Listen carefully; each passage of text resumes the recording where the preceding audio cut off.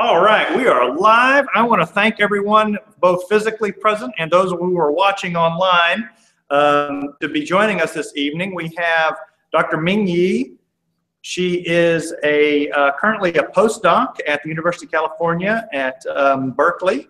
Um, she is uh, previously uh, got her PhD in physics at Stanford in 2014.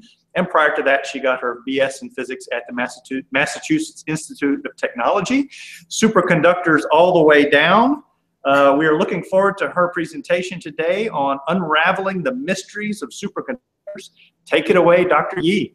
Okay, thank you very much, Will. Thank you for having me.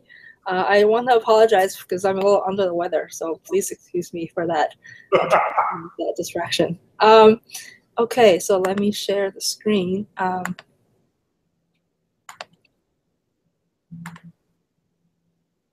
Okay.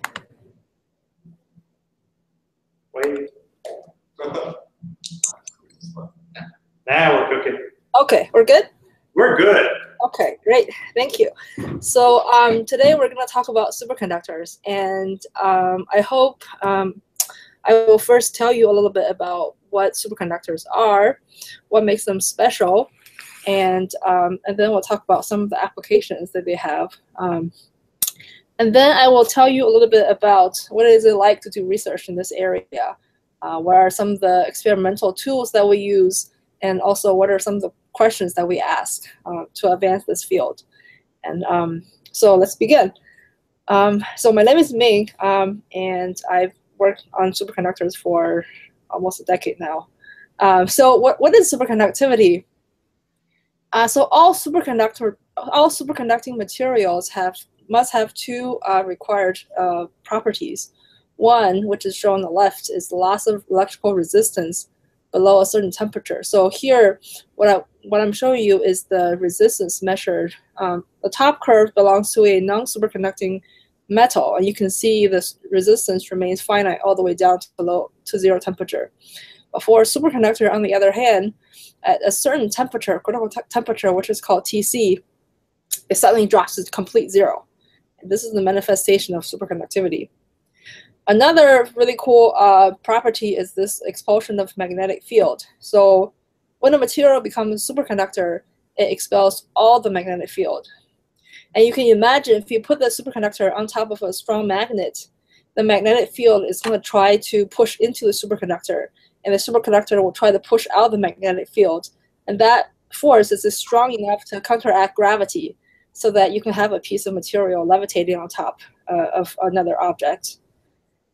This is really cool. Um, so I'm going to show you a short video of me playing with the superconductor.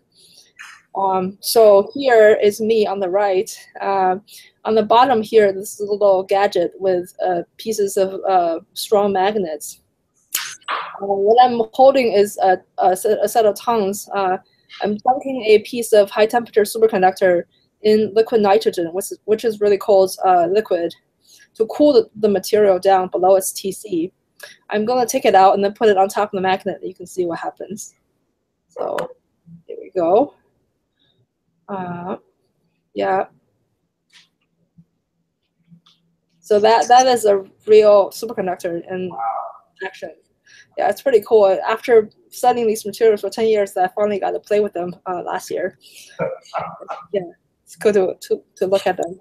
Um, and huge chunk of material. How, how big is that? Oh, actually, the, the whole thing is not a all superconducting material. Uh, it's only a small piece in the middle. The rest, rest of it is foam for soaking up the liquid nitrogen to keep it cool. Ah.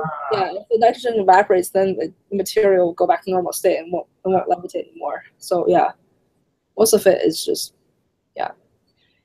but you can search for there's lots of cool videos online on YouTube where they people have built like um, superconductors um, on top of Mobius strips, which can go forever, and it's really fun to watch. Yeah, check them out.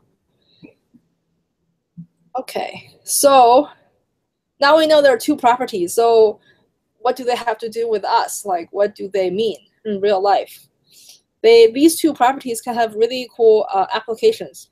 Um, so for the loss of electrical resistance on the left-hand side, uh, what it means is that when electricity travels in these materials, there is no resistance, so they do not lose any energy to heat. So that you can imagine um, for power transmission, these materials are very highly efficient. So this picture compares, on the left-hand side is um, power cable made of conventional wire. I think it's copper over here, which is already a really good conductor. But on the right-hand side, it's set of uh, superconducting material that is needed for uh, transmitting the same amount of power as the conventional one. You can see it's very efficient. It, it only uses a fraction of the material size. So it, this can really benefit um, uh, energy or energy problems. And then the cooler application is on the right-hand side, which uh, uses the magnetic levitation. So because of the strength of this uh, uh, expulsion of magnetic field is so strong, you can uh, a whole whole set of trains can be levitated on top of tracks, um, and then carrying uh, tons of people. So these trains are traveling in air, and um, you can imagine because without friction they can travel at much faster speeds. The only thing stopping them is the air resistance, making them um, theoretically capable of achieving like similar to air travel. So here is a picture of a maglev train in Japan, which set the record for uh, traveling at a speed of 374 miles per hour, which is approaching air travel. Um, yeah, and you can and these things are really quiet because they they're not like clunking on top of the tracks. So they're they're they're great. So now you can imagine if you can get rid of all that air, you can even further um, uh, make make make you can you can uh, get rid of the air drag so that they can achieve theoretically to even higher uh, speeds. So people have built a track. Uh, this is a built in a university in, in China, where they made a tube uh, where they can pump down the air to maybe like a tenth of uh, atmosphere, and this way, theoretically, speeds can travel can can reach up to 1,800 miles per hour, which is three times the the speed for air travel. And just to put that on, in perspective, that'll get you from Paris to, to Moscow in under an hour. So you can technically have breakfast uh, in Paris and lunch in Moscow. That these things are they're they're they're only limited by our imagination. So I think they're really cool. They have some really cool applications. Hey, uh, Dr. Yi, is that the uh, the basis for um, that Hyperloop? Sorry. Is that is that the basis for the the Hyperloop? How uh, Elon Musk's idea of having a fast rapid transit sort of system? Is that maglev or is that just air pressure that's? Uh, I'm not sure. I'm not sure about that. Um, I don't know about that, but um, I would yeah. So I, for me, this kind of this kind of uh, this kind of setup is what can achieve the high speed. So I don't know if there are other kinds of uh, setups that can do this. Cool. But basically, this just reduces everything to air air drag. So yeah, making ground transportation you know equivalent to air travel Mm-hmm. if you can build tracks. Mhm. Um, so actually, superconductors are more common than we realize. Uh, so the, here's the periodic table. You can see most of the elements are superconductors one way or another. Uh, the ones in blue are the ones that just superconduct at ambient pressure. The ones in green um, will superconduct at under some high pressure. So the question is, why don't we see superconductors, you know, more in our daily lives? The problem is there's a limiting factor. So com- coming back to this plot, um, which shows the resistance, you know, we said that there the the material only becomes a superconductor below a temperature, which is called which is called Tc. So it only works under this temperature. The problem is for most of these elements, this temperature is really low, only a few degrees above absolute zero. So to make these things into applications, we would need lots of very expensive cooling power uh, to hold them in that state. And that's why um, it, practically it, right now it's, it's a technical challenge. So the goal uh, for people working in superconductors is to find materials that can become superconducting at high temperatures or even room temperature, um, which will drastically, you know, reduce this maintenance cost and make them more practical. So what is it like uh, to have a world with room temperature, dream room temperature superconductors. Um, maybe some of you are young, uh, old enough to have seen the movie Avatar, um, and remember there are these large floating pieces of land. Um, actually, in that imaginary world, that material is a room temperature superconductor. So, in their in their in their in their um, imagined world, these materials are naturally superconducting at room temperature, so they can float on top of you know a large magnetic field. So you can imagine if we had room temperature superconductors, then you know our world would be drastically different. And yeah, so this is our goal. Um, so back to reality. Uh, let me tell you um, there's a timeline of uh, what kinds of superconductors has ha have, have been discovered. Um, so on the vertical axis is the uh, critical temperature or transition temperature TC of the materials. And then on the horizontal axis is uh, the year of their discovery. So initially, the first one uh, was a super, first superconductor was discovered by um, Kamerlingh Onnes in 1911, and he won the Nobel Prize for it two years later uh, for mercury. Um, this was an accident. He was the first one to liquefy uh, helium, and then he just cooled things down there. Electricity was electrical resistance was gone, so he discovered superconductivity. And then following that, uh, the series of materials that have been discovered all had very low TCs. So these are what people have called conventional superconductors.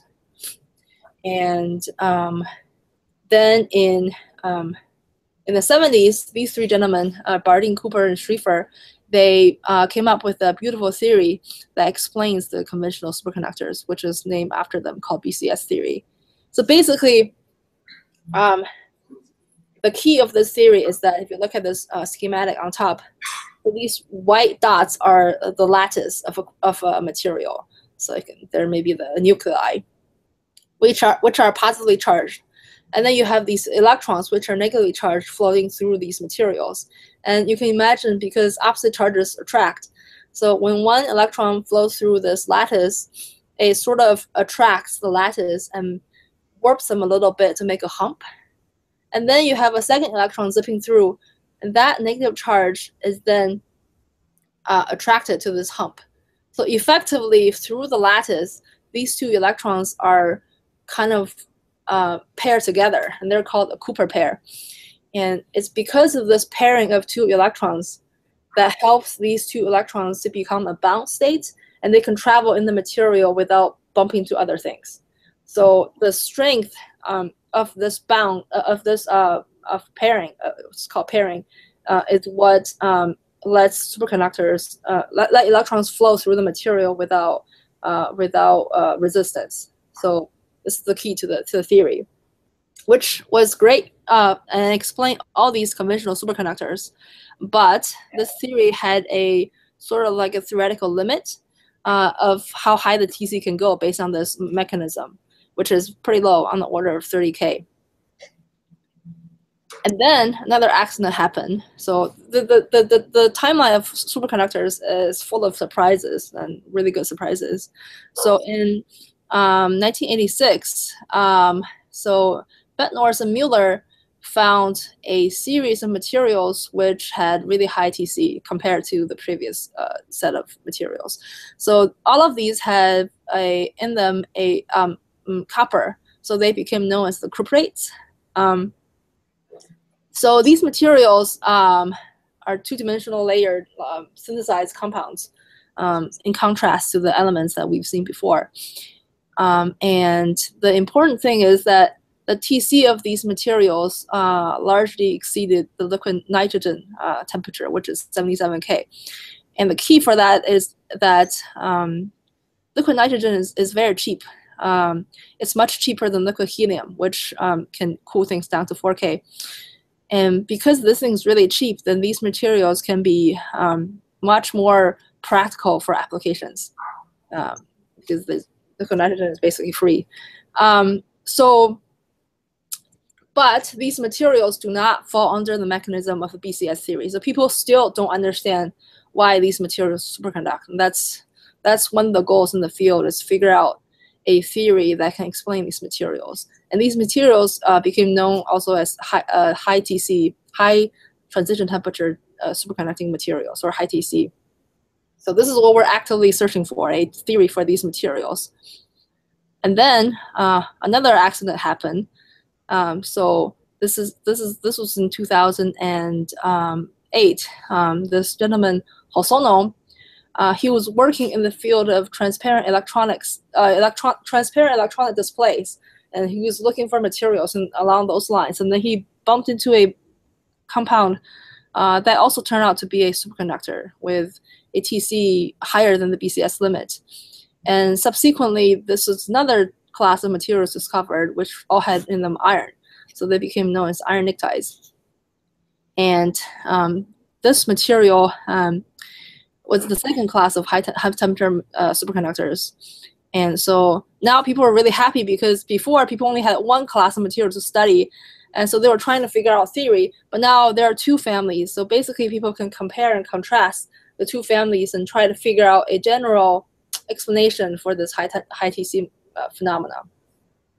So uh, the discovery of this iron pnictides happened just as I entered graduate school. So for all of my PhD years, I just focused on the study of these materials. And so this is what I will talk about uh, for the rest of the talk.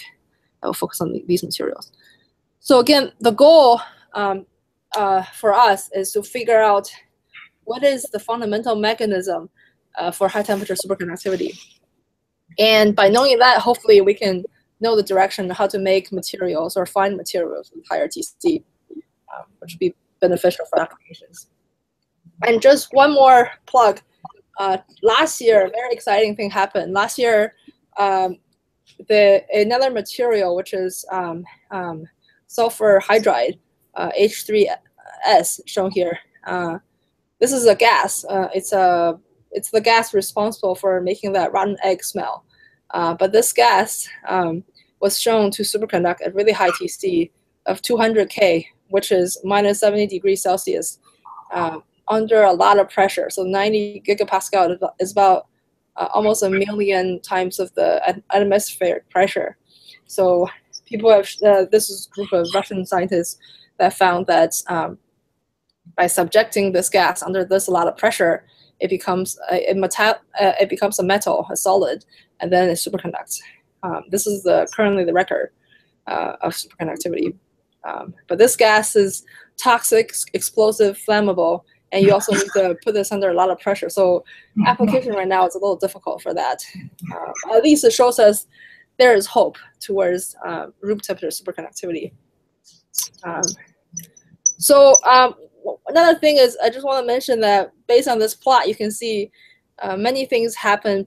Many discoveries were made by accidents. So theories have limits, which um, you know should not be the limit for you know stop uh, stopping us to to to study certain materials. But um, there are always surprises that, that that can be made that you know that proves some theories are wrong, and then you can you need to make new theories. So, this is one of the excite, excitement of working in this field. Um, okay, so let me focus on the iron pnictides because um, this is what most of the talk will be about. So you're not supposed to be able to really read this plot. Uh, this is just to give you a sense of, this is the uh, amount of, just some examples of the iron-based superconductors discovered within uh, the first year of discovery of these materials. And uh, they're just all over the map, and each one of them is, is, is a family of, of superconductors. So there are a lot. Um, and But uh, there's some organization to this. So if we break them, all of them down, they can actually be separated to different families. And this is, a this is showing a um, crystal structure for each family. And if you just focus on this box uh, highlighted here, you can see it has the same structure uh, which is this these blue uh, dots, which represent iron atoms, and then these uh, whitish colored dots, those are arsenic or selenium. So all of them have these iron planes, and that's what they all have in common. And then the only difference between them is that uh, you may have different number of these iron iron planes, or you may have different stuff in between these layers. and uh, they are named by numbers uh, based on the, the formula of their chemical, uh, based on their chemical formula. But because they all have in common this iron arsenic plane, we know that the, the central physics uh, for describing these materials must come from this iron plane. So we, we, we, we focus on our study of the of, of these uh, materials based on uh, based on studying these iron planes. Sorry? We're okay. Question? Nope. Okay. Okay. Um, uh, let me just uh, introduce a little bit about how uh, superconductivity arises in these materials. Uh, so here is a blown up, blown up of one of the one of the crystal structures, and this uh, yellow layer is the iron arsenic layer. And uh, one way to achieve superconductivity is that they are doped. What that means is that uh, these materials, uh, uh, the S-chromo compounds are not superconductors. And in order to make them superconducting, um, the interlayers must have some extra uh, charge carrier. So for example, electrons, which are donated to this iron arsenic plane. So uh, these these uh, donated electrons somehow um, flow in this layer and, and, and mediate superconductivity. And um, people have found that with different amounts of uh, what's this is called doping, uh, which is the um, just introducing carrier, charge carrier into the uh, into the into the compound. Uh, people have seen that with different amount of doping, the superconducting transition temperature (TC) uh, is um, can be uh, optimally uh, achieved.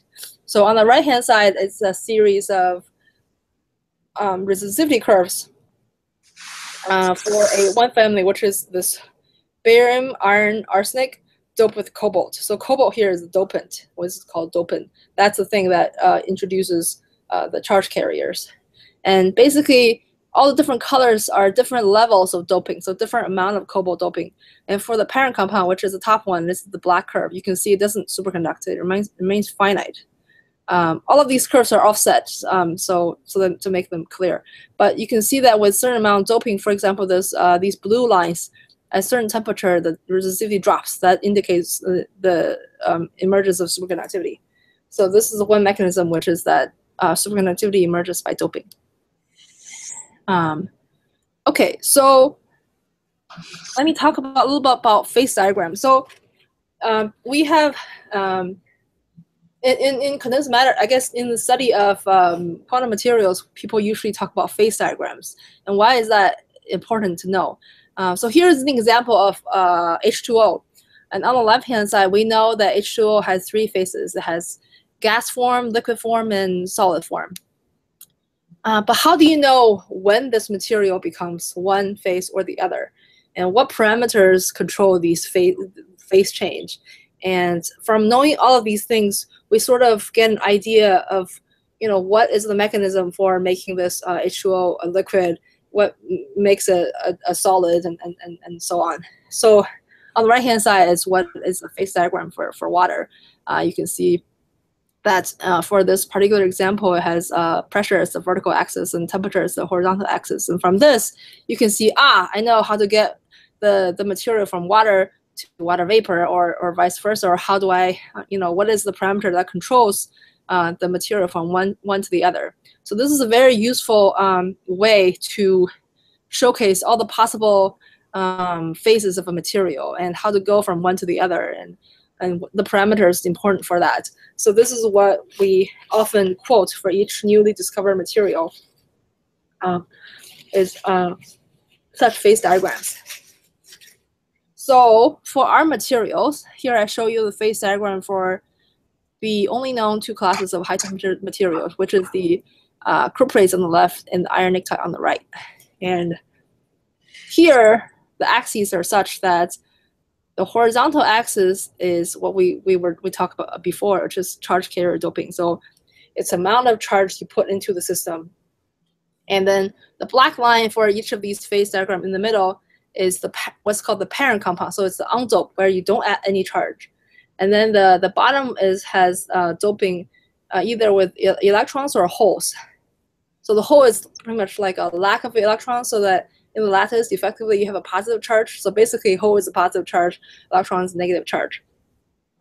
And then um, uh, vertical axis is the temperature. So here, these two phase diagrams are drawn strat statistically such that uh, the colors match. So what that means is that these red bubbles uh, are the superconducting phases. So they show you how much you have to dope to get the material to become a superconductor. And you can see for both classes of materials, they're not superconductors at um, zero doping. Only with doping, either holes or electrons, you get these uh, superconducting phases. You, you can get them to superconduct. And both of these materials in the underdope region, underdope means the close to, to the undope side, I guess, you have these blue bubbles. And these blue bubbles, for both of these, are magnetic orders. So magnetic orders are like, maybe you've heard of uh, like ferromagnetic order or antiferromagnetic order. Basically, it's an arrangement of spins on the lattice. So uh, let's look at the two lattices. And we're going to focus uh, for the cuprates on a on the copper plane because this is what important what's important for superconductivity in the cuprates. And then for pnictides, we're going to look focus on the um, just the top view of the iron plane because that's the important thing for superconductivity. And you can see that the spins are ordered in such a way that in the cuprates, every other site, the spins flip. So you have an up, down, up, down, also in the other direction. So this is called the antiferromagnetic order. And then for the for the pnictides, um, it is such that uh, the spins are antiferromagnetic. They're anti-aligned along along one direction and then aligned along the other direction. This is what people call a collinear spin density wave because the spins sort of forms like a wave, I guess, uh, intuitively. Um, so this is very interesting because there are only two kinds of high temperature superconductors. And we see that for both of them, there's a large chunk of the phase diagram close to the superconducting phase that has a magnetic order. So it makes you think, aha, so maybe uh, the spin order, spin magnetic orders are important for superconductivity. Why do they always have to, you know, appear next to the superconductivity? Um, so, so the question becomes, can we study the, these two, the, the magnetic phases and try to understand why um, superconductivity occur next to these phases? Maybe by understanding the behavior of these magnetic phases, it can tell us where else to look for, what other materials to look for that has this kind of magnetic order that has the potential for superconduct for superconductivity. So this is the thought process of uh, our approach of the problem. Um, um, so, so here are the questions. I just rephrase them. Um, what is the nature of these different phases in proximity to superconductivity? And there are two aspects that we can um, uh, talk about. One is one is that importantly, these phase diagrams are um, sort of tell us the order, different order of the of the electrons. So it's important to understand how do the electrons behave in different phases. And the second aspect is how do these phases interact with superconductivity, especially in the case here, for example, where these two phases sort of come together, and um, it, we don't know if they merge or they they they sort of um, mix or, or or what or what. So these kind of uh, questions may help us to understand the nature of superconductivity itself. So this is the key uh, questions that we will try to answer uh, by the end of the talk. And um, um, so let me talk about the study of electrons first. So um, many of the phenomena that we that we see, uh, for example, the superconductivity or ma magnetism, all of these are actually based on the behavior of electrons in the materials. Um, and the electrons are very curiously arranged, uh. They, they kind of uh, interact with each other and arrange themselves in partic particular orders to have this outward manifestation of what, what we see. For example, if a material is insulator, or if a material is a conductor, all of these are based on the behavior of electrons at, at the uh, very um, fundamental level. So it's important to understand what the electrons are doing. But studying electrons, it's not enough to know where they are. Um, just like uh, think about if you want to know about the traffic, you, you, you can't just know where the cars are. You sort of also have to know um, the speeds or velocities and directions that they're traveling. So here shows you the dichotomy of how to think about electrons. One is that one is their location, which is captured in what's called real space, um, and also their velocity or or their momentum. Um, and this is called the momentum space. So you need information in both real space and momentum space to really get a comprehensive understanding of how the electrons are flowing in the material, just like traffic uh, through through through you know through roads. Um, so I think we're probably more familiar with real space. So I'm going to introduce um, the momentum space um, in the next few slides. Um, so electrons, if you have a bunch of free electrons, um, it's called free electron gas, but a bunch of independent particles, and their energy, if you think about their energy and their momentum, which is indicated by K here. So, so momentum is, you know, like in classical uh, picture, it's uh, mass times velocity, but it basically it tells you the velocity and also the speed and also the direction that they travel. But the relationship of a free bunch of electrons um, uh, for of energy on k is, is quadratic. So energy is proportional to k squared. So if you plot that, you get a parabolic uh, line like this. Now, since we're dealing with real materials, we sort of have to put these electrons into lattice.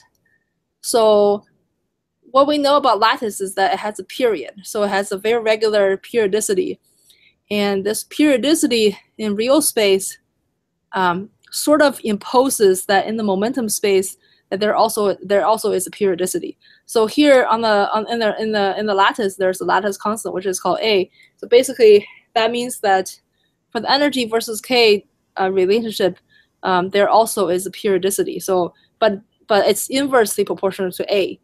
So the bigger the lattice constant, the smaller the period and the momentum space. So you can on the bottom basically um, we sort of break down break down this quadratic relationship with you know these these periods, and then we fold the bands so that every uh, 2 pi over a the, the bands uh, repeat themselves, and then you get multiple branches. So you, you get these like what's called spaghetti plots uh, and um, a bunch of lines basically.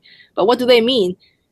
Uh, each point in this line, so these lines, um, each point in this line sort of tells you the energy state that electrons can live in a solid.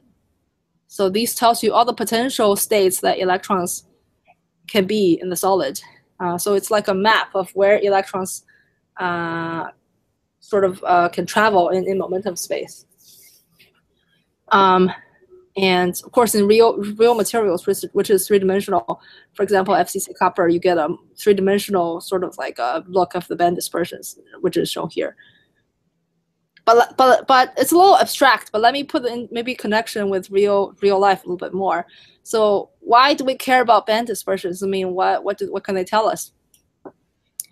Uh, here, I want to introduce one more concept. Sorry, this is a little uh, technical, but just one more concept, and then we're done.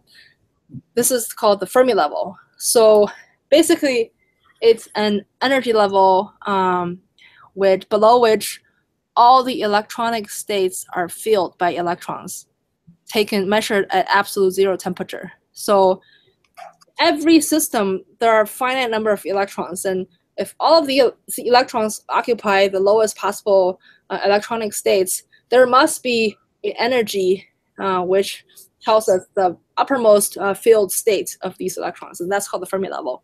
So it's basically an energy below which all these bands are filled are, are have electrons living in them. And all the bands above this uh, uh, Fermi level are um, empty, so there are no electrons in them. It's just a separating, separating energy scale. And now, now comes the connection to real life. So if if if you see bands crossing the, this uh, called EF, Fermi level EF, then this material is a conductor, like copper or, or whatever, any kind of metal.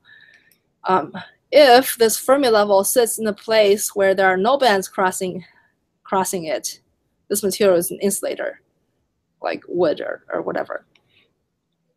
So this tells us just by looking at the band structure, this is called a band structure, um, it tells us that, uh, it tells us about the behavior of electrons, which are the cause for the outward um, manifested material properties. So just this whether a material is insulator or conductor is is um, is it's a more straightforward example, but there are many other um, examples where uh, band dispersions tell us uh, how electrons uh, arrange, and that's what we'll talk about later uh, in the, in the uh, next part. But just remember, the behavior electrons tell us how materials behave, like whether it's an insulator or conductor. So it's very useful to understand this this this aspect. Okay, sorry, that was a little uh, technical. But now let's talk about how do we study um, how do we study the electronic structure. Uh, you know, by studying for studying the location of electrons, you can use like something like a microscope. But how do you study the velocity of, of, of, of electrons in the material? And that brings me to the tool, which is called the angle resolved photoemission spectroscopy, or we call it ARPES for short. Um, it's based on a very cool phenomena called photoelectric effect. This is what Albert Einstein actually got his Nobel Prize for. Um, so um, so basically when when light shines on a um, metal or a piece of material, they observe that uh, electrons fly out to vacuum, and this is because light is um, like a, bundles of energy which are dumped into the electrons in the material. And these materials absorb these amount of energy. Sometimes it's, uh, when the energy is large enough, uh, these electrons uh, can overcome the um, binding energy of the material and actually just fly out to vacuum. So this effect is, is all we need for this tool, which is called ARPES. So here's the like schematic of the setup. So for ARPES, the light usually comes from a large facility called a synchrotron. Uh, these are actually really large uh, facilities, and what happens is uh, electrons are, are accelerated through a ring-like uh, structure. And when electrons go into a ring, they gave off uh, a large amount of X-rays. So each of these like uh, pokey things is a branch line where X-rays come out. And um, and this was actually another accident. Um, uh, when people were doing high energy, uh, this was discovered when people were doing high energy physics, um, where they needed storage rings for for the accelerators, and they, they had uh, they, they and they realized that in the storage rings, um, they're actually uh, giving off X-rays, and they realized that this X-rays can be useful for many um, other applications like biology, looking at uh, crystal structures or protein structures of biological systems or some sort of chemical reactions. And so um, synchrotrons, synchrotrons were born, and uh, there are uh, a few, a handful them throughout the world uh, where people go to do uh, research in all kinds of biology, um, chemistry, physics, and what have you. And um, so we use the light from one of these branch lines and we shine it through our sample which is shown here. This is not to scale. Uh, sample is very small. Uh, but these samples usually sit in high, ultra high vacuum. And when light shines on the sample, as we said, from the photoelectric effect, electrons are uh, ejected out from the sample into vacuum. And these electrons are captured by this uh, spherical thing called electron analyzer. So effectively, this electron analyzer measures the energy and momentum of the electrons and um, um, energy just, it's easier to measure.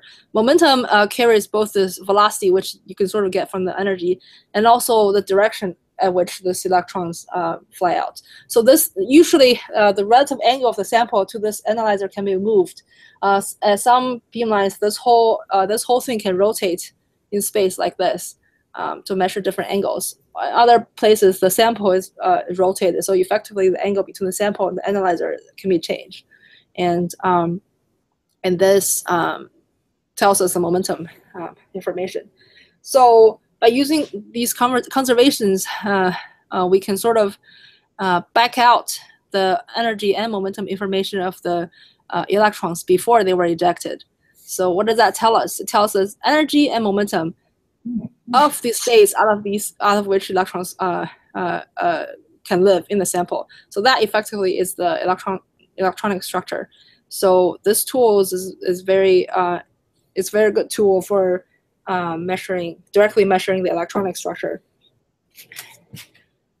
Okay, so in real life, this is what synchrotron looks like. Uh, this is the um, advanced light source at the Lawrence Berkeley lab up on the hill where I'm sitting right now. Um, so this uh, round building houses the synchrotron and um, it's overviewing the, the bay, which is very pretty when you go there for beam time. Um, and here is uh, me standing next to a ARPES, what's called station, uh, ARPES machine at the Stanford, uh, the Stanford synchrotron. So here you can you can sort of get the size of this thing. So this whole wall is the part of the circular like uh, synchrotron, and then this this tube down here um, is where the beam is X-ray is guided towards the sample. So sample is sitting somewhere in there, and then behind all this wire, this this is the um, uh, electron analyzer that measures the electrons. So this is the size of the whole thing is in vacuum. So there are lots of foils and wires and whatnot.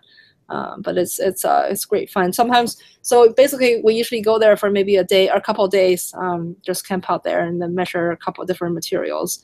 And right now, many of the computer softwares are, are automated, so it's not too bad. Um, you can set up some scans and come back with very beautiful data. So yeah. Um, okay. So let me show you some real uh, spectra. So here is the two-dimensional, just schematic of a two-dimensional uh, electronic structure. You have energy and then you have momentum, and this is a parabolic band. And I remember the Fermi level EF is marks the energy um, at which uh, the electrons are filled below and empty above. So we can only measure electronic states that are filled. Okay, and then uh, and then you can imagine uh, if if we take a series of these parallel cuts through this momentum space, you can sort of generate a whole cube uh, that uh, of information that tells you the um, the, the the entire band dispersion, the entire the entire uh, electronic structure. And then from the cube, you can generate any kind of cut. For example, a very common kind of cut to make is this constant energy contour. So in this constant energy contour, it's uh, taken at uh, as its name called, it's uh, at a constant energy, and then um, the axes are the momentum in x direction and y direction. And if you take this cut at the Fermi level, this is called a Fermi surface map. So in a real material, this is a real measurement on the right-hand side. So this is um, uh, a copper surface state. And you can see the beautiful parabolic uh, uh, band. And this indicates the uh, states, possible energy states where electrons can live. Um, so, but this is just a surface state. If you have a real material, like a three-dimensional material, for example, this is a iron pnictide, one of the first iron pnictide materials. Um, you can see has very complicated band dispersions, many spaghetti bands. Um, yeah, and then the Fermi surface can be very complicated, very beautiful. So this is this was one uh, the first set uh, set of measurements that I I took um, participated in. It was very mind-boggling for me. So I since then I've decided I really want to work in this area because of how beautiful these things are. Um, and you can see these circles of uh, just these. This is basically a map of where the electrons can live in the in the solid. Um, yeah, very powerful measurement. Okay, so let's come back to our questions. Just just a reminder, the questions that we're setting out to answer is nature of the different phases. Uh, next to the superconductivity. Um, so the first question is, how do the electrons behave in different phases? So let me let me do a um, we draw a schematic of the phase diagram just so that we can get a handle of what phases there are. Um, so again, this is temperature versus doping. Um, this this bottom dome is the superconducting dome, and the left left hand side is the undoped parent compound. There are actually two lines, two uh, phase transition lines uh, coming down. Um, there's a higher one, which is called TS for structural transition, and a lower one for TSDW, which is the spin density wave transition. So let me just uh, iterate what sort of uh, what uh, talk about what each of these phases uh, do. So if we start out in the normal state, normal state just means it's outside of all these phases, so it's the most normal state. Um, of all. So um, in, in at this position, the um, the the crystal is called paramagnetic tetragonal. Uh, basically, what it means is paramagnetic means that the spins are not ordered, so the, there's, there's no ordering of spins. Tetragonal just means it's a square. Um, so basically, the two directions are indistinguishable. And on the left-hand side, I'm showing you the what's called the unit cell, which is the smallest, smallest, um, smallest unit uh, in the lattice that repeats itself over throughout the solid. Um, that unit cell is this green square here, um, drawn here. And these are the iron and the arsenic. And on the right-hand side, I'm drawing you, you, you effectively the unit cell in momentum space. So it's the smallest unit which repeats itself in momentum space. So these two are uh, uh, sort of like uh, inverse of each other. So as you as as we talked about before, the larger uh, it is in real space, the smaller it is in momentum space. Uh, but this is the what's called Bragg zone. It's, it's, it's, it's what's called the, for equivalent of a unit cell in the momentum space. Okay, as we go through TS, uh, what happens is the material becomes squeezed a little bit along one direction and then elongated a little bit along the other, direction. So effectively goes from a square to a rectangle. Uh, and then effectively the momentum space is it's squeezed along the longer direction and uh, elongated along the shorter direction because it's inverse it's inverse proportional to the lattice constant. So it's one over a. And this is a transition called going from tetragonal to orthorhombic. The spins are still disordered, so they're still paramagnetic. Okay. And then the next transition is the spin density wave transition. So basically here, the lattice is not changing anymore. What's changing is the spin structure. So the spins now become ordered all of a sudden. Um, as we said, ferromagnetically aligned along the um, shorter direction and then anti-ferromagnetically along the longer direction.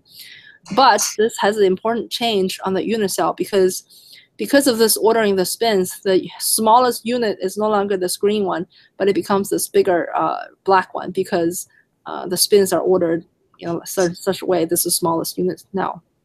And effectively, that means in the momentum space, the Bragg zone becomes smaller than what's before. So, so the in the momentum space, things happen uh, inversely to what happens in the real space. So just, just keep that in mind. Okay, and then finally it goes through superconductivity. Nothing happens in the lattice or spin. It just electrons pair up to become superconductors. Okay, and then we're gonna uh, explain sort of uh, uh, study uh, the electrons uh, that goes the, the changes the electrons go through through each of these transitions. So we're gonna start with the structural transition. So this structural transition I sort of exaggerated on the plot. I said it squeezes a little bit on this direction, elongate on, along the other direction. But actually, the lattice distortion is tiny, tiny. It's only the change in the lattice is only 0.3%, so it's, it's very, very small. And however, even even though it's small, it's still qualitative change on the symmetry. So in the tetragonal phase, the things are the two directions are um, are indistinguishable. So it's called C4 symmetry, which means that if you rotate the thing by 90 degrees, it doesn't doesn't change. It's still the equivalent. Um, but because of the, the orthorhombicity, even though it's small, the two directions are no longer the same. And you have to rotate by 180 degrees to, to get to get the, the same structure again. So this becomes, uh, the symmetry is lower, just called C2 symmetry. So this is kind of like a, it's called a symmetry breaking. And um, so, so you think about, this is just what happens to the lattice. But actually something happens also to the electrons in these materials. Something large happens. So let's let's talk about what happens. Um, to study this, uh, I have to first talk about technical difficulty, uh, which sort of shows you some of the interesting things you can do with with research. Um, which is um, so when when when when these materials become squeezed in one direction, you can imagine a large uh, in a large uh, compound some part of the sample may squeeze along the x direction. Some parts of the sample may decide to squeeze along the other direction. So you end up with a material that has um, what's called domains. So like um, parts of it, the domains that are, that are 90 degrees rotated. So on the right hand side is a optical image where you see sort of these faint stripes. And the dark and white stripes indicate um, domains that are 90 degrees rotated. So in, for example, the white parts, you have uh, sample squeezed along the y direction. On the black domains, you have them squeezed along the x direction. So this makes measurement really difficult because when you whenever you measure on such a sample, you get an average of these two domains, and so you cannot really see the intrinsic behavior of a single domain. So our uh, colleague um, came up with this really smart way where they he just like designed a, a mechanical detwinning device which squeezes sample along one direction and that was enough to get rid of this domain. So you end up with a sample that is just largely of a single domain, making this kind of measurement possible for many different probes. So for their measurements, they measured the resistivity, and what they found was that um, you can just focus on one of these plots. This is for different doping. So, but but effectively they're all the same. So you can see that different colors are resistivity along the shorter and longer directions, and they are very large. So the difference is very large. For example, this 2.5%, the difference is factor two. And you can think about only 0.3% lattice distortion. How can it, you know, get a change of this size? So it means that something must be going on beyond the lattice distortion. So that's where we come in. So we look at the ARPES measurements. And so in this is a normal state, which means that the lattice still is still square. And here on top is the measurement along the orthogonal directions, and you can see they are the same in energy. So which means which is saying they're degenerate. But when we cool down below these transitions, what we see is that these bands are no longer the same. So along the, the longer direction, this band is uh, comes across the Fermi level, whereas for the other direction, it goes lower in energy. So this shows that the rotational symmetry is indeed broken by the electrons.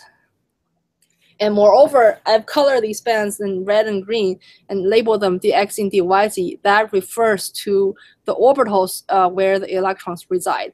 So uh, maybe you have learned that uh, um, uh, electrons on atoms, they reside in different orbitals. And for these iron materials, there are five different orbitals they can stay in, x, z, y, z, x, y, and x squared minus y squared and z squared. So here what, what we're seeing is that this symmetry breaking actually happens in the orbital degree of freedom, which means that the orbitals, the different, the, the x and y z, which should be um, um, symmetric in the tetrahedral state, they are filled different, they are filled up to different amounts in the, in the state. So it means that the orbitals, there's some sort of ordering of the orbitals such, such, that, such that the rotational symmetry is broken. So this is beyond what happens to the lattice. So just, uh, just so the question is, uh, at which transition this occurs.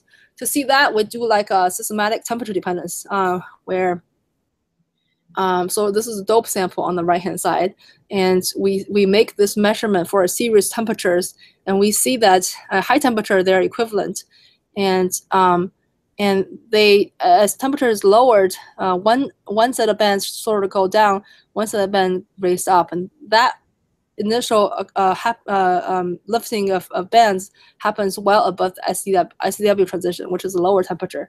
So that means that the transition must be related to the structural transition, the higher temperature. So the symmetry breaking is related to TS, to the structural transition. And if we just plot the energy difference of these two bands and do that as a function of temperature, we see it's very similar to the resistivity measurements, which means that this sort of explains the, the, the their observation of this large anisotropy in the resistivity. Uh, so here we're seeing that this is the electrons doing. Now just take note that this energy scale is on the order of 80 millivolts. So let's think about, again, this um, lattice distortion. So it's only 1.3%. Um, can we say one way or another whether um, the lattice distortion can make this kind of change? To do that, we, we, we can do theory calculations. So uh, in theoretical calculations, they can put in by hand lattice distortion, and they see that only a change of 10 intervals is possible with from this small lattice distortion, which is much smaller than what we observe. So this tells us that the lattice distortion cannot be the cause of this symmetry breaking, but it's actually the result of what happens the, to the electrons. so basically, this is saying that at a certain temperature, the electrons decide to, to, to occupy different orbitals such that, and this ordering is so strong, it drives, drives the lattice to have a distortion in a certain way. So, uh, so this saying that this occurrence is, um, is electronic in origin. So this is what we found. And this is also responsible for the resistivity and anisotropy. Okay, so that's the TS. Yes, I'm a little uh, running behind. So uh, let's talk briefly about the SDW, the spin density wave transition. So for this, we're going to use a different compound um, because the in this compound, the TS and TSDW are well, well separated, so we can sort of separate their effects in temperature. And I'm going to show you schematically of what happens and then show you the data um, because um, to, to confirm. So again, in the tetragonal state, the system is um, here at the orthogonal direction, the x direction, the y direction. These bands are, are, are same in energy. And um, as we go through TS, uh, as we learned before, one set of bands sort of moves up, and this red band moves down. Now, when we go through the SDW transition, remember we talked about this um, doubling of the unit cell because of the spin order, and that effectively sort of um, cuts cuts down the this Brillouin zone momentum space by by by half. So the so this band, so the bands at the y point sort of fold into the to the to the center, and and vice versa. So there is a what's called a folding of bands because because now the uh, smallest unit cell in the momentum space is uh, smaller than before. So on the band dispersion, you will sort of start to see uh, fine features uh, where there used to be not, not any bands. So I'm going to show you a, a, short movie, which is a series of measurements taken at different temperatures, coming down from high temperature through first through TS, where you will see uh, this, this white band sort of shifting up, this white band coming down, and then and then you will see when we go through SDW, at a lower temperature, there's some fine features developing, which is result of this folding. This yellow line just stationary, just a, a reference guide. So here we're coming down in temperature, and just focus on this band here. You see at a certain temperature, starting about now, this band starts to shift up, and this band starts to shift down. And the lower temperature, you have these fine features uh, here, uh, which were not there before. That indicates the folding of the SDW. Yeah, so just to summarize, so in the high temperature state, the two directions are, are the same. And then when we go across the structural transition, we've seen that this band sort of moves up, this band moves down, which breaks which breaks the symmetry in the in the two directions. And finally, when we go through the SDW transition, we see that you have these fine features there, which is which which is the result of these two bands uh, folding on top of each other. Okay. Um, let's. This is a brief uh, summary of what we have learned, uh, which is that um, the two transitions at, have different behaviors for uh, for the electrons. At the structural transition, we see that it's the rotational symmetry which is being broken, and more importantly, this is due to the ordering of the electrons uh, which is strong enough to drive drive the uh, changes in the lattice. So this is a very this is this is a phase that is electronic in origin of the lattice, which is kind of amazing if you think about it. Just the small electrons that are ordering on a lattice is strong enough to drive the lattice to change in certain ways. Um, it's, it's kind of you know mind-boggling. And then at the SDW transition, we observe band folding. Again, this is consistent with uh, the SDW introducing a new and larger a, a, periodicity of a larger unit cell. So this is uh, from a result what's called the translational symmetry broken breaking, uh, which is different from rotational symmetry breaking. So you see that these uh, phases, for these different phases, electrons behave differently. And the last aspect is that is a question is um, now how do these phases interact with uh, superconductivity? So uh, that's the last part, which is when we have a material going through these two phases, what happens when it dips into superconductivity? Okay. We've shown that there are three, three, three lines, right? TS, TSDW, and TC. So that indicates there are three different, uh, three different phases. And from the band dispersion point of view, the three different phases have different um, uh, um, different uh, manifestations of change. So let's just summarize for, for the TS, what happens is that there's these bands sort of move up and down in energy. And then for the, the magnetic order, the spin density wave, what happens is bands sort of fold on top of each other. And what I didn't show you before was that when they fold, whenever bands cross themselves, they sort of open up a, a, a gap. So bands do not like to cross them, themselves. And when they do, they sort of um, open up a gap such that they don't touch each other. Um, so this is called an energy gap. And this gap happens anywhere that the bands fold and cross the original bands. And finally, for superconductivity, uh, the signature for superconductivity is a gap uh, that opens at, at the Fermi level, which is symmetric, totally symmetric. So there's a difference between the superconducting gap and the SDW gap because SDW gap only uh, happens wherever bands cross, and superconductivity only happens at the Fermi level.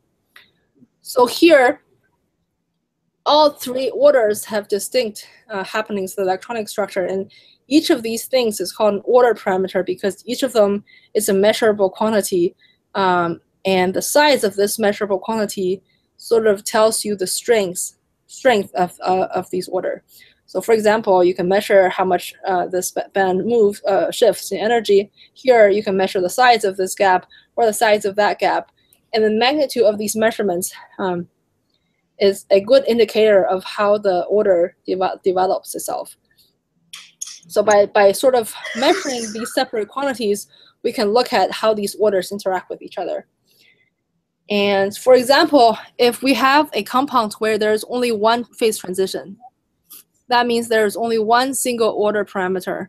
And if we if we measure this gap size, uh, SDW gap size, you see it has a monotonic behavior, which is that it um, at a certain temperature, it when the electrons uh, when the spins order, this gap sort of suddenly um, opens, and then it monotonically increases and saturates uh, towards low temperature. This is the uh, mm, this is the uh, distinct um, um, behavior of a single order parameter not only measured a compound where it goes through two transitions, so SDW transition and then superconductivity, this is what happened. So this red line is uh, the gap opening at TSDW, and then at TC, it drops. So if you, if you think about if this SDW order does not know anything about the superconductivity, it will not drop. It will just go on like the black line and, and, and uh, saturate. Um, but here we see a drop, which means that the SDW order knows about the superconductivity and it does not like the superconductivity. So it competes with superconductivity. Uh, part of the, the magnitude of this order sort of decreases. This means that the, uh, the magnetic order directly competes with the superconductivity for the same electrons. Just to make an analogy, um, you can think about a dance party. So on the dance floor, for example, this sort of represents the electrons participating in the magnetic order. You have, you know, ferromagnetic order along this direction, antiferromagnetic order along the other direction. They're all well ordered. But when music comes on, some of these uh, electrons participating in the magnetic order uh, couple together to superconduct. So you're left with a reduced amount of number of electrons participating in the superconductor in the magnetic order. So this sort of shows us how these two orders sort of interact and compete with, with each other. It's kind of like analogy. okay, and that brings me to the summary slide. And so we have learned that um, uh, these phases actually are driven electronically by, by the uh, arrangement of the electrons um, and they uh, they are competing uh, orders with superconductivity. So yeah, so so what? This is all about iron pnictides. But very interestingly, uh, just at the same time we were doing this measurements, um, similar studies have been done in the cuprates, and um, interestingly, what they see what they saw was that these phases, the spectral signatures for these phases, also compete with superconductivity in, in, in the cuprates in a very similar fashion. So the signatures for these uh, phases also have a dip when they become superconducting. So this shows that actually there these these behaviors are very similar to, to, to the two classes of high temperature superconductors. So it sort of tells us that maybe to look for other classes of high temperature superconductors, we need to find materials that have these magnetic orders and orders that compete with superconductivity. And you may you will find potential other potential high temperature superconductors um, that way. So these are the kind of questions and thought process that people um, sort of uh, study uh, in this field. and um, lastly, but very importantly, I need to um, acknowledge all my collaborators. So in, in our field, um, all of this work is cannot be done by a single group. Uh, they are done by collaborations with a variety of different groups. And um, we, we did the ARPES measurements, and this was done uh, in my uh, PhD group in the actions group at Stanford, and done at, at two synchrotrons. One is the Stanford synchrotron, one is the Berkeley synchrotron. And the samples were grown by um, both um, our collaborators at Stanford and also internationally. And um, and the, also we always need theory support. Uh, our theory support for these studies happen to be a, uh, Tom Devereaux's group at Stanford. So it's a large collaboration. It's uh, very awesome people that we work with. So that's all. Thank you very much.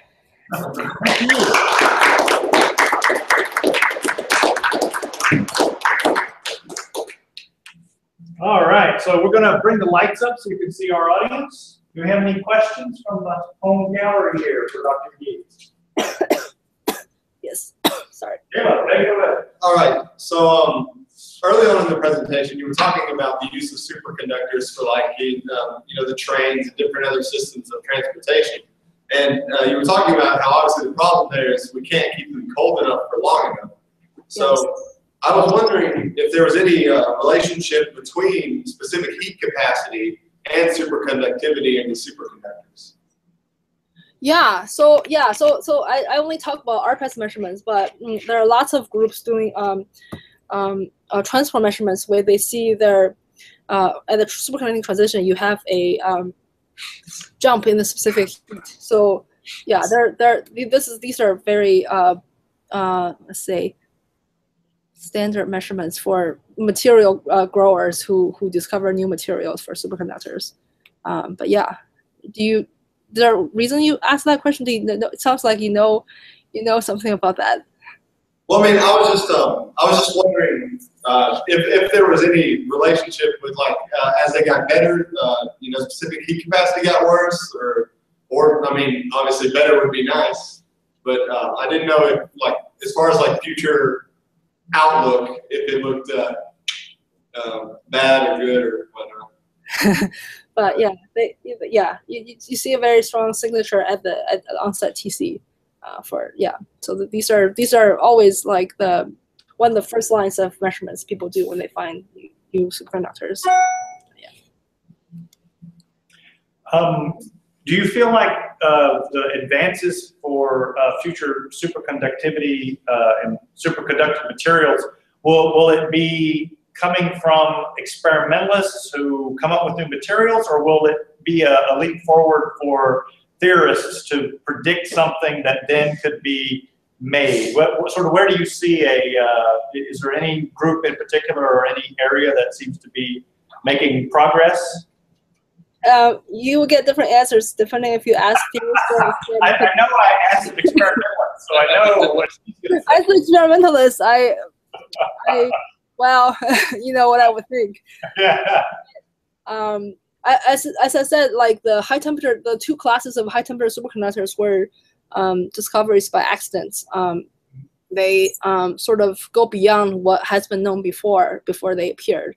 So in that sense, you know, um, you, they, they were not predicted. However, the uh, really the recent the the sulfur hydride that I showed um, that that was discovered last year, that was actually a prediction uh, by theory many years ago. Um, the problem was that such high pressure was not achievable until just recently. So mm-hmm. people couldn't really uh, check in that area. But that was a success, success story for theory. Um, so it's a race. I don't know. Um, yeah. Yeah.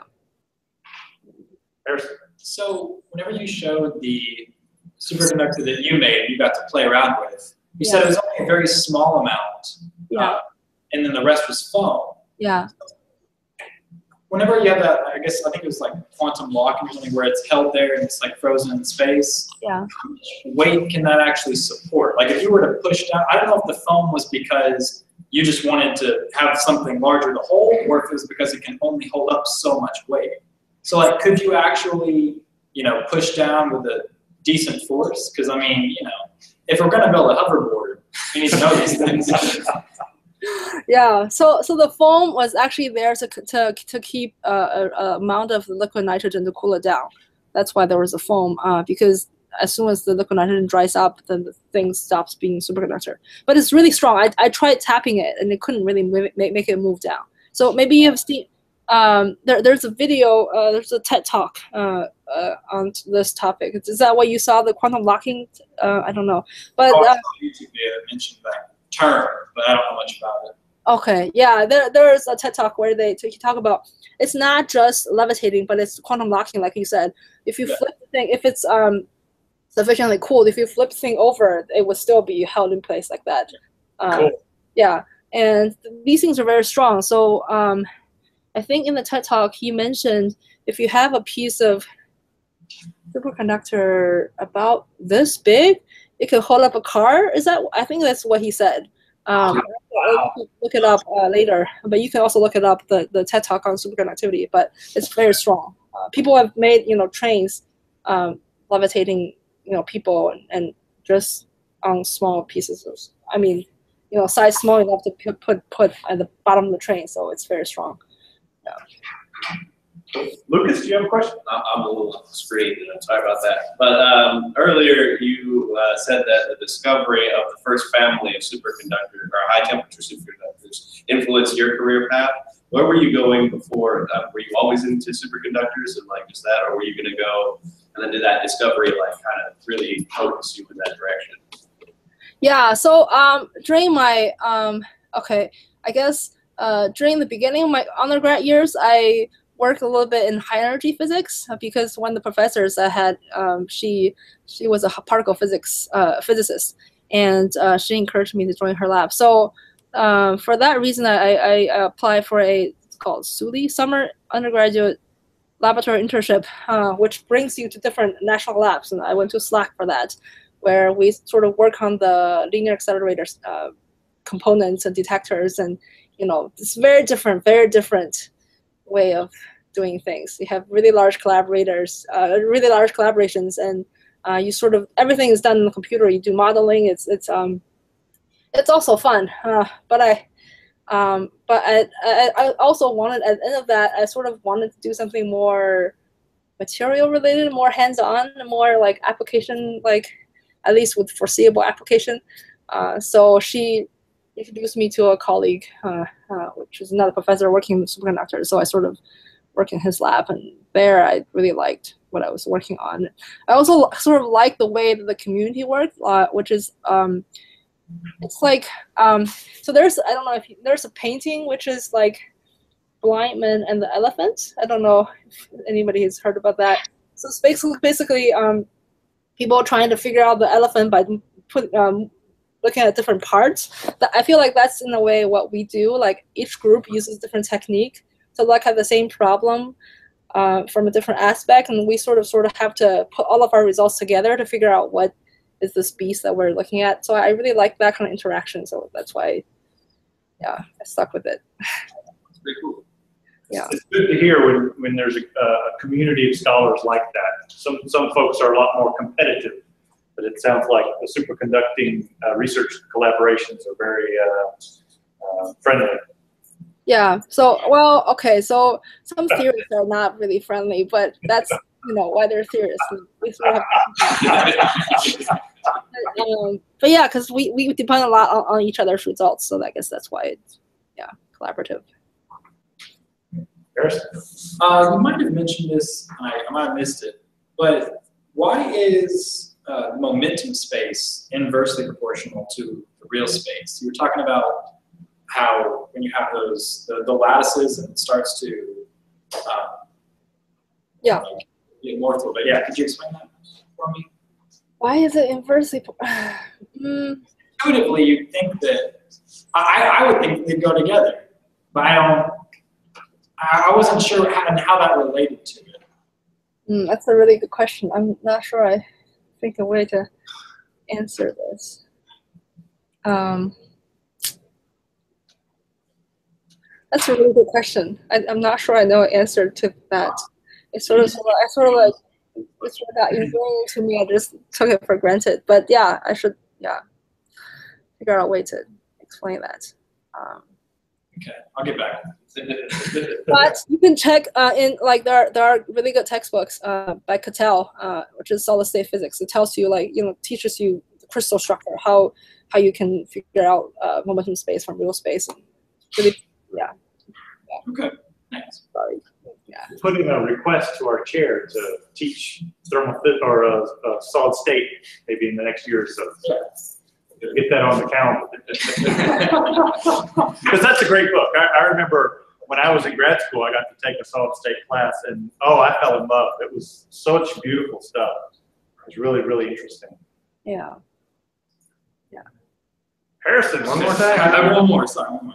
Uh, so you, you started, you got us a little excited with the, the room temperature superconductors, like in the future. So as a, you know, industry insider, what, what's your opinion on the feasibility of that? Is that something that really could happen, or is that just like a hypothetical? Oh, I definitely think it's.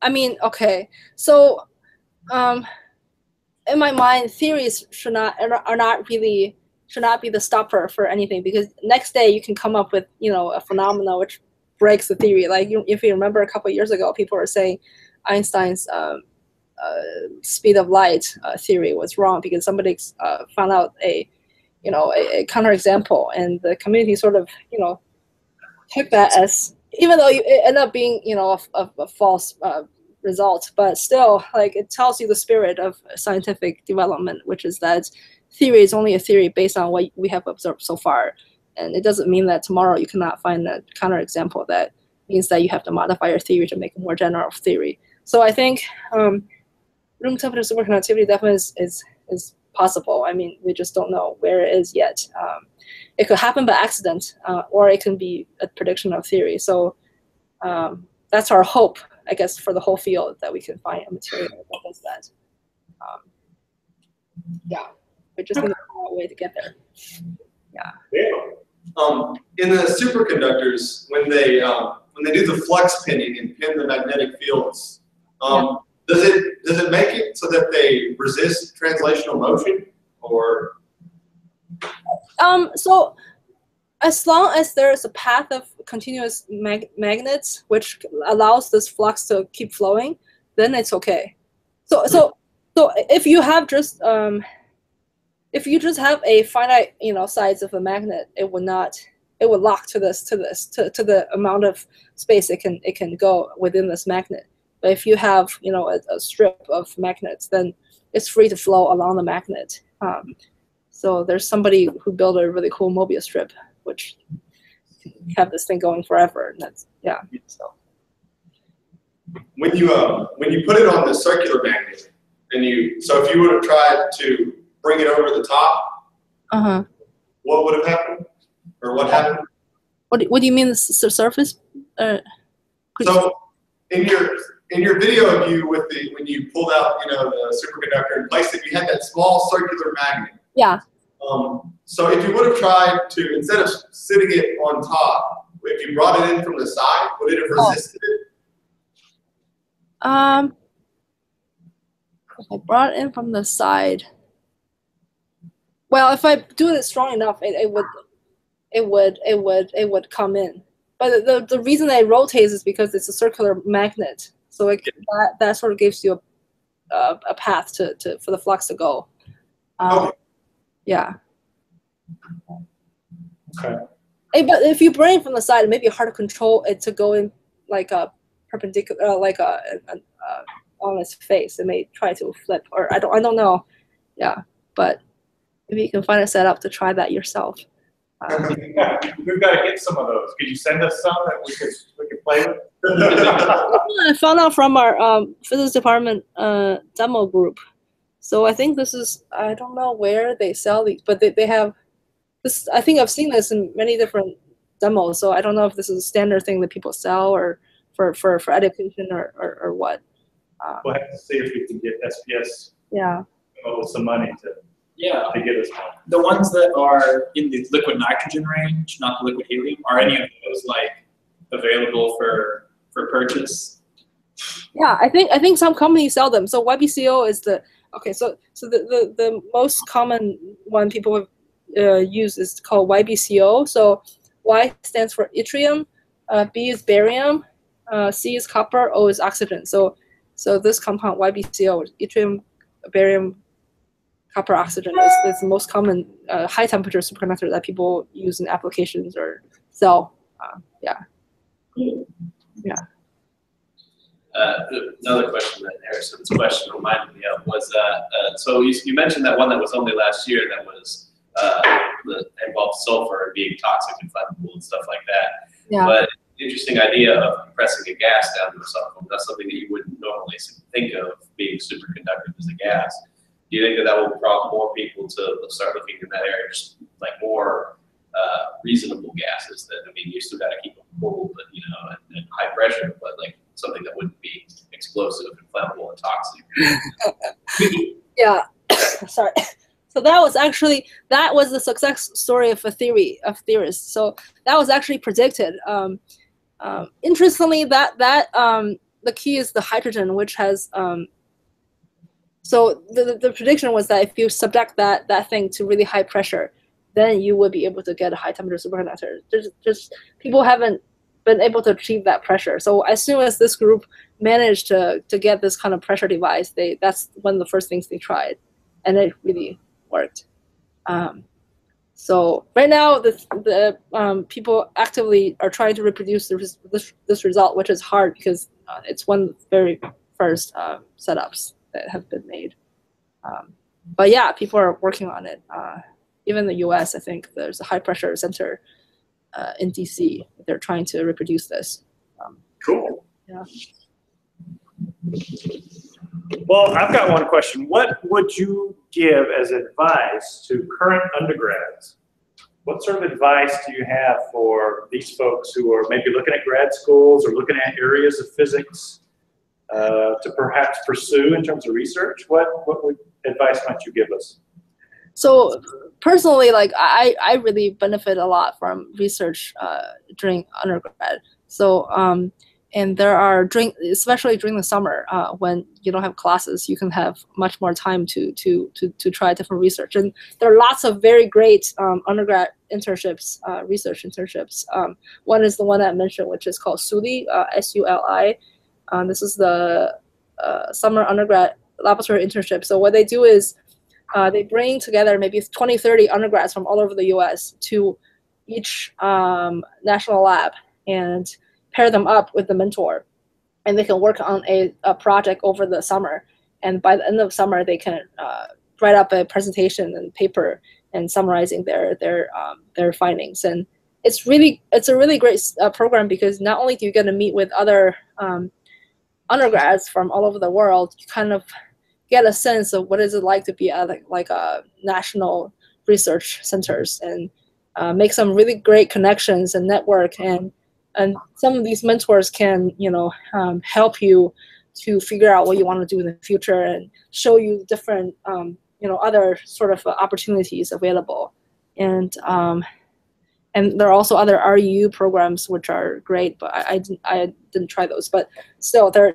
I think just getting involved in research early. Don't don't think you don't know anything. I think um, what people, I think what these uh, places really really look for the enthusiasm in undergrads, um, and that really is all it takes to to get involved in research. So um, just don't don't think you you can't start young. You can start, you know, now whenever you know you decide to apply. So um, and try maybe if you have the time try maybe one or two different uh, very different research areas. Like for me i tried high energy physics and um, condensed matter physics and um, and you, not only do you get a taste of what it's like to do the science in the area but also it's important to get a feeling of um, what is it like to work in that community? Like what is their working style? Like do you work with a lot of people or only a few? And these are things very very good for deciding what you want to do in the future um, as well. So. All right, that's great. Do we have any other questions here from our home audience? Well, let's thank our speaker.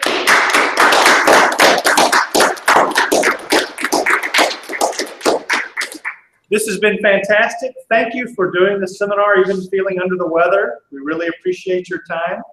Thank you very much. Thank you for having me. I really enjoyed it. Great. This is fantastic. We, it'd be very difficult to have a, uh, an expert in superconductivity come give a talk. So this is, this is great. We really enjoy it. Thank you. Thank you. Me too. I'll send you an email later and uh, we'll uh, uh, chat a bit more. Okay. Thank you very much. Thank you. Bye-bye. Bye bye. Bye.